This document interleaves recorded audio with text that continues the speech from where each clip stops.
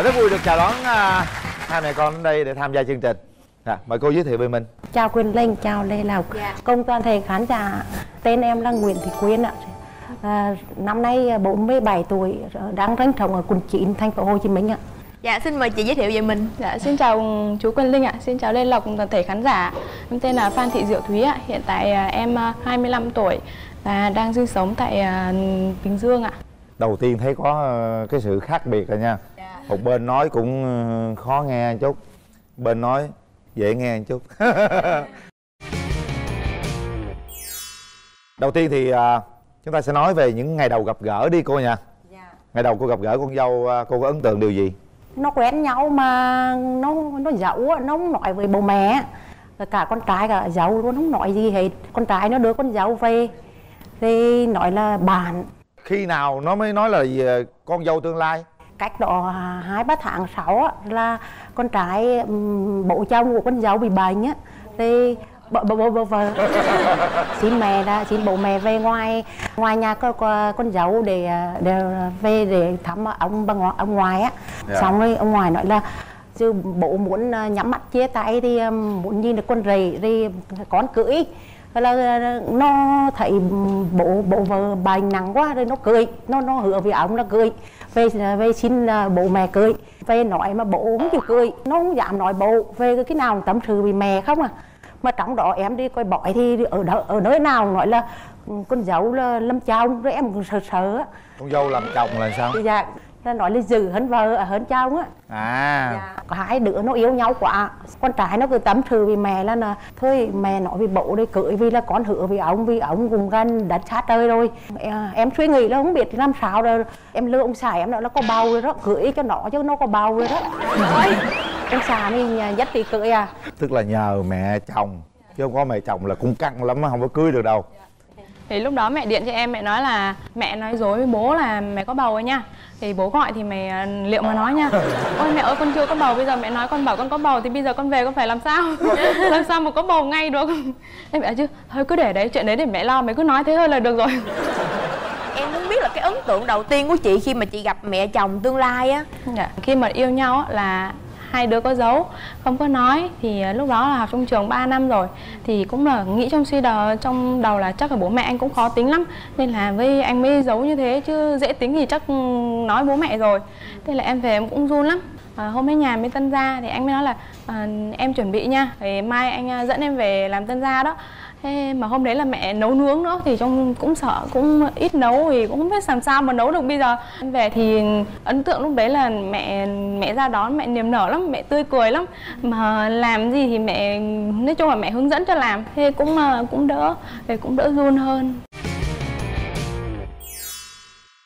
Thấy con dâu về cảm nhận đây là đứa con gái như thế nào? Thấy nó dễ thương không? Dạ dễ thương ạ. À khi mà về làm dâu ờ, em có nghe rõ chồng em với em em em trai chồng á là nói giọng miền Nam. Nghe được thì trả lời không nghe được thì ngồi cười. Em trai mới hỏi là chị có nghe được bố mẹ nói gì không? Bảo lúc nào mà em thấy chị cười tức là chị không nghe được đó. Còn cái này căng rồi nha. Có khi nào mà bố mẹ em mắng á, la gì cái em cũng ngồi cười. Có không? Không lúc đó là nhìn sắc mặt. À. Có khi nào chị nghe lộ một cái câu gì đó chưa dạ có. Ờ, lúc em em sanh thì mẹ cũng nói là trẻ con á, là đi ngoài nghề. Thì em nghe là em ăn nghệ nên là con em đi đi vệ sinh nó ra như vậy. Thế em mới bảo, không, con không có ăn nghệ, từ hôm qua đến giờ con không có ăn nghệ. Thế là cứ cãi mẹ vậy á. Thế là nhiều cái mẹ nói em cũng không nghe, xong rồi phải hỏi lại. Mẹ nói lại, mẹ nói chậm lại thì mình nghe được. Có cái văn hóa vùng miền thật sự mà nói của nghệ an á với lại ở ờ, ngoài bắc nó nó xa nhau lắm. Vậy thì làm sao để mình hòa hợp giữa ờ, hai mẹ chồng nàng dâu? Về ăn uống nè. Nó khác nhau nhau không? À, hai mẹ con dễ ăn uống hợp nhau khoản ăn uống nên là hợp nhau ăn uống. Dạ nên là cũng ờ, dễ lắm. Rồi mẹ nấu cái gì gì là nữa? ăn cái đó. Dạ, ví dụ như là làm đẹp mẹ thích làm đẹp con dâu cũng thích làm đẹp. Mẹ bảo chở đi đâu làm đẹp con dâu chở liền. Chị là con dâu á, khi sảnh á là ở ngoài bắc á là không phấy hớ mà còn ở nghệ an là phấy hớ nhiều lắm. Mà khi nào mẹ chồng nhủ con dâu phấy là phấy hớ là không có chịu không có chịu làm gì? Lâm lâm than á.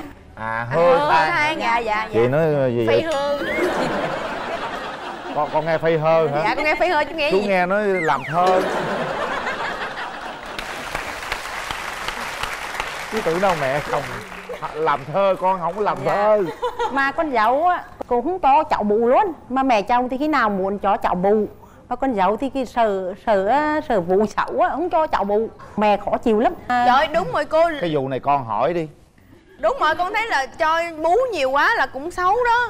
Dạ cô thì cái, cái thích truyền thống khi nào người thích có chả- con bố mẹ để cho nó tình cảm á. Đúng rồi. À. Không có bú không có tình cảm đâu. Bé nhà em nó cũng không chịu ờ, tí mẹ.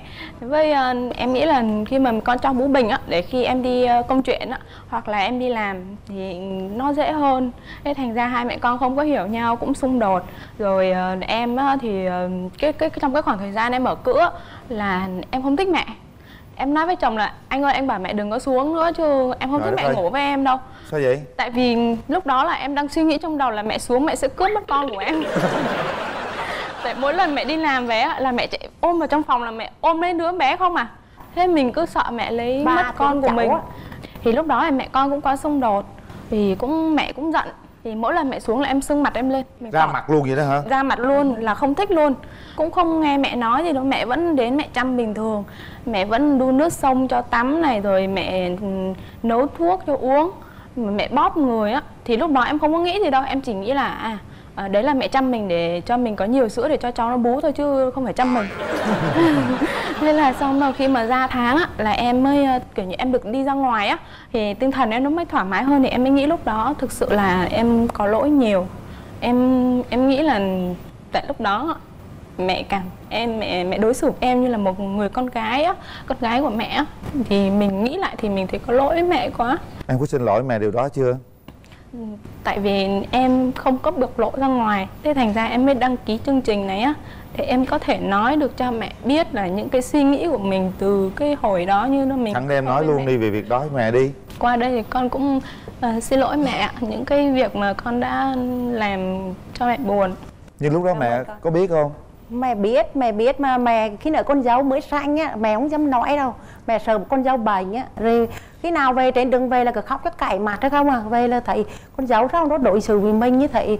Vì là em là không có con gái được có hai, à, hai người con trai thôi. Em cứ nghĩ con dâu là khi nào với con gái của mình á. Lấy đi con dâu cứ mặt nặng mặt nhẹ vì mẹ không à.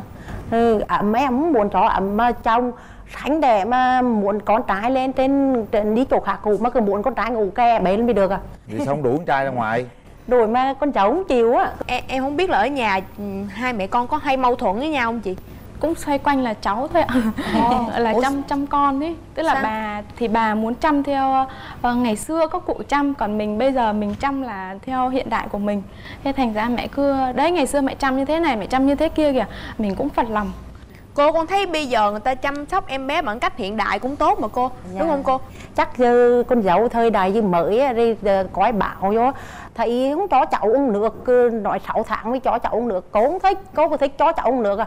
Hai mẹ con hai mẹ con cứ, cứ, cứ à. vùng vẳng vùng vẳng là cái gió cái cháu không à? Khi nào tranh cãi nhau mà đẩy lên tới đỉnh cao chưa? Không à cứ âm ỉ âm ỉ vậy thôi. Thôi, kiểu Chứ, mẹ chồng thì sợ con dâu mới sánh không dám nói sợ con dâu suy nghĩ để bệnh không có nói gì hết á. Rồi con dâu thì tức mẹ mà cho mắt nặng mắt nhẹ không à? Đợt Tết vừa rồi cho bé về quê bé bị lạnh thế là khi mà ở ngoài quê nó là nó lạnh còn trong mình là nó nóng. Thế là đi vào bé bị sốc nhiệt. Thế thành ra là bé yếu. Lúc đó là bé yếu hay bà về bà nhìn mới sót cháu. Bà mới về bà mắng em bà nói là à, thúy đưa con về bắc mà cho như là đi tù á. Trời ơi lúc đấy em giận lắm. Em mới sưng mặt em lên. Em là em không ăn cơm. Em dọn cơm ra xong rồi em nói là anh ăn đi rồi xong em đi công chuyện nữa xong mà đi về. Thì lúc đó là hai mẹ con giận nhau cũng phải hơn một tuần lễ khi đó thì bố chồng em mới xuống nói là con à, tại mẹ thương cháu quá. Thì mẹ mới nói như thế thôi chứ mẹ không có ý gì đâu. Con gọi điện con xin lỗi mẹ đi con hỏi mẹ đi chứ uh, bố thấy như thế là không có được. Hai mẹ con phải giáp mặt với nhau nhiều nữa chứ đâu có phải là người ngoài đâu mà lại như thế tức là không có hỏi nhau. Thì lúc đó thì mới lên nhà mẹ nói chuyện với mẹ thì lúc đó lý do gì mà cô ờ, giận dữ gì mà cô nói câu đó cô? Về quê ăn Tết á, là khoảng 20 ngày mà về Nghệ án là 10 ngày về Phú Thọ 10 ngày. Mà về Nghệ án là em ch- à, ờ, ch- tôi chậm lắm nó uống sữa rồi ăn cháo đầy đủ uống có háo ra đi là biết là là con cháu uống chăm cháu ra đi vẫn cắn cháu cái coi được nhiều kỹ là ra đi cắn được 11 kỹ mà sáu đứa về phú thọ 10 ngày lớn có 9 kỹ à thì vô vô thấy cháu nó nóng ruột quá thì đi, đi bức bội quá thì nói thôi sao được cháu về mà ý như đi tù về được nên con dâu nó giận á. Tức là khi đi cô đem ra cô cân cháu. Cân cháu lên. Khi cháu về cô lấy cô cân lại. Không phải vợ chồng ngày suốt dạ. ngày cái đứa đi chơi không cho cháu ăn á rồi về cháu lạnh thì cháu đứng đứng nồi luôn đứng vần luôn. Sụt hai ký biết liền ha. Dạ. Thành ra buồn chứ. Buồn buồn dạ. bực, bực xúc quá nên nói nói con dâu vậy á nhưng mà cô biết là vì cái câu nói đó mà con dâu giận mình không? Có có. Con dâu nói hay tự cô biết? Con em nói với chồng à dạ. thực ra là về mình về quê là mình cũng có chăm bé. Rồi xong ờ, mới nói với chồng là anh thấy về quê á em cũng cho con ăn uống đầy đủ chứ đâu cho con ấy đâu. Nhưng mà do là lạnh quá thì bé nó bị như vậy thôi. Vì mẹ là thấy là về nghệ án vẫn lạnh mà mẹ chấm không có hảo kỳ gì hết đó mà cháu chơi ngoan rồi mà để, để về phú thọ vậy mẹ nọng ruột á. Nghệ an cũng lạnh như phú thọ mà nghệ an không có sụt 2 kg phú thọ sụt 2 kg tại hôm đấy là vào đợt rét vào đợt rét chú kỳ quá à. Không nói tóm lại á là ở đây á là như là chưa có sự à, chia sẻ thật thật với thẳng với nhau. Dụ ngay lúc đó đó mà em à, nhẹ nhàng em tìm cách nói chuyện với mẹ thì mẹ sẽ hiểu ngay tức khắc. Không phải để đến cha chồng mà, mà gọi là can thiệp đâu đúng không? À, còn cái chuyện gì à, mâu thuẫn với mẹ con ngoài chuyện chăm con nữa không giữa hai mẹ con thì thực ra là cũng chưa có sự chia sẻ nhiều á. Thành ra là mỗi lần giận là em nói với ông xã em không à? Vì là con dâu là cưới xong là đi hưởng tuần trăng mật xong về nhà riêng luôn. Hai mẹ con cũng ở chung á. Yeah. Dạ. thì có khi sinh khi đẻ rồi mi mi mi ở với nhau.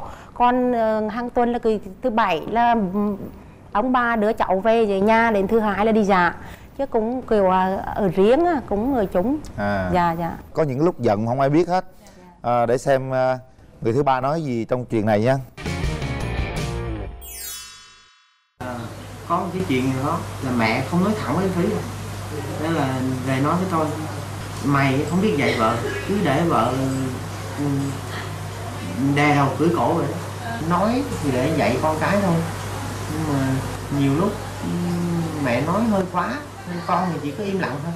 Con con trai mà, con cũng không cãi mẹ. Cái xung đột mà lớn nhất giữa hai mẹ chồng đó với nàng dâu đó là em mới ngày đầu về ấy, thì cưới về hai vợ chồng lập nghiệp ở trên bình dương.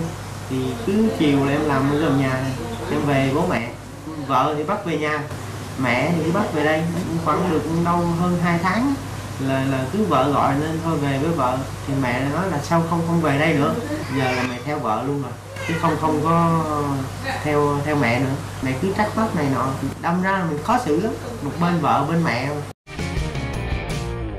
sao ờ, anh lấy vợ mà cô không cho anh về ở với vợ cô?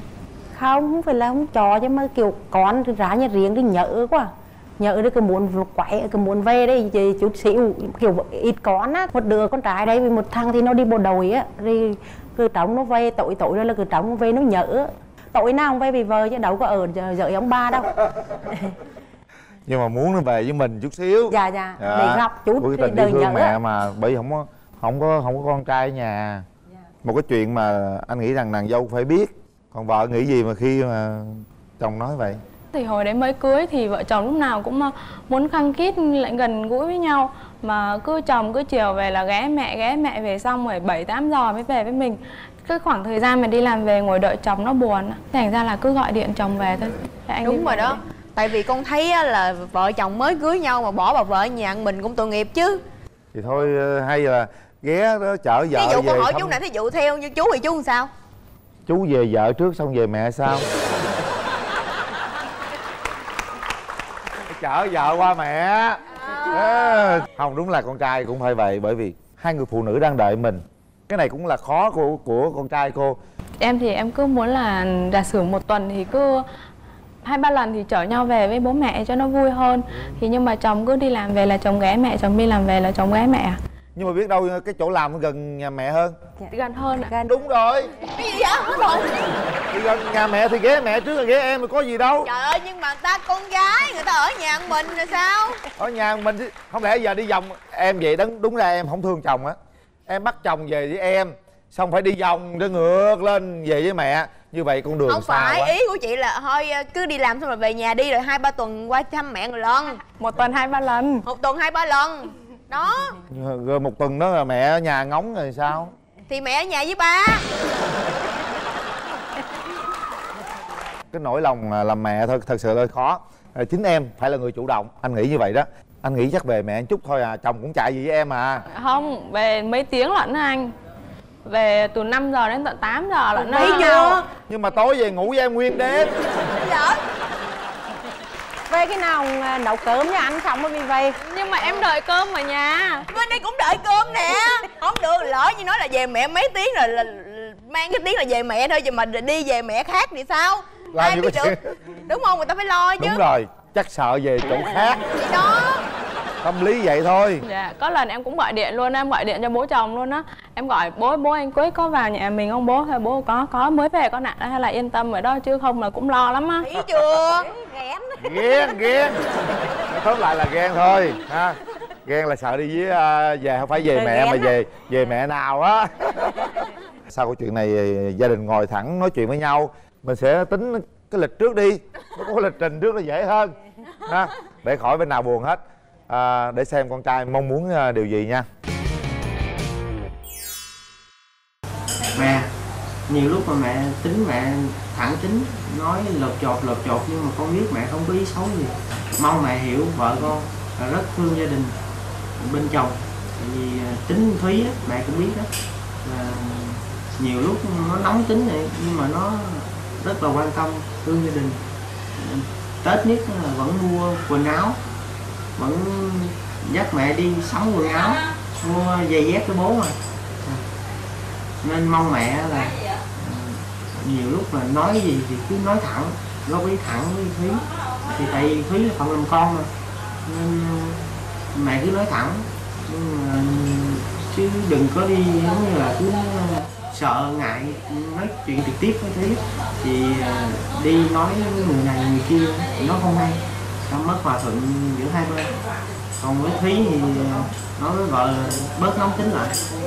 Biết là tính em giống như tính đàn ông vậy, thẳng tính. Nhiều lúc mà nói nhưng mà cứ cãi qua cãi lại nhưng biết mình sai rồi vẫn cãi. Nên nhiều lúc mà phải phải biết kiềm chế lại. Dạ ơi, anh biết là em thương mẹ nhưng mà em phải thể hiện ra. Thì gặp mẹ thì chào, hỏi thăm mẹ. Hay là hôm nay mẹ có mệt hay không? Thì cái đó thì được lòng mẹ hơn thôi. Em tính em nó không có thể hiện ra mặt ấy. nó em không nói được những cái câu mà tình cảm giả sử như là mẹ ơi mẹ hôm nay mẹ có mệt không? Hay mẹ ơi mẹ làm gì thế? Là em không nói được thế thì em chỉ nói được những cái câu chuyện bình thường thôi. Thì tại em cũng uh, ít thể hiện tình cảm với mẹ nên là nhiều khi mẹ cũng chắc là mẹ cũng không biết được cái tình cảm của em dành cho mẹ mong muốn con dâu là cho hiền chủ biết biết tên biết sự có lê có lỗi là được à. Chị có mong muốn mẹ điều gì không? Em mong mẹ là mẹ nói cái câu gì đó để nó rõ ý hơn để cho con biết hơn. Chứ mẹ cứ nói nhiều quá thành ra con cũng không hiểu cái ý của mẹ là như thế nào. Thôi bây giờ là thế này. Hai mẹ con hứa với nhau điều gì đi ha. Thì à, con à, hứa với mẹ là từ giờ con à, sẽ quan tâm và ừ, yêu thương thể hiện cho mẹ biết được nhiều hơn con chỉ muốn nói là con yêu mẹ nhiều lắm. Tính mẹ thì cái gì mẹ hay nói trường mặt á mẹ không, không để được trong bụng đâu kiểu trột toạp á thì có gì thì con cứ thông cảm. Chứ mẹ nói rồi là rồi chứ mẹ không bỏ, bỏ bụng đâu. Chúng tôi rất muốn nhìn thấy những cái giây phút thế này. À, mẹ chồng nàng dâu ôm chặt lấy nhau cười thật tươi hiểu nhau nhiều hơn. À, cảm ơn à, mẹ chồng nàng dâu à, đầu tiên ngày hôm nay tham gia chương trình gửi tặng một kỷ niệm à, để nhớ về chương trình. Chúc cô thật nhiều sức khỏe chúc cho gia đình hạnh phúc và thành công trong cuộc sống. Con cũng xin gửi tặng phần quà cho cô đó là natto enzyme ngăn ngừa tai biến đột quỵ nguyên liệu từ nhật bản. Dạ em xin tặng chị là natto gen giải độc gan và tăng cường chức năng gan. Cảm ơn cô và chị đã đến với chương trình.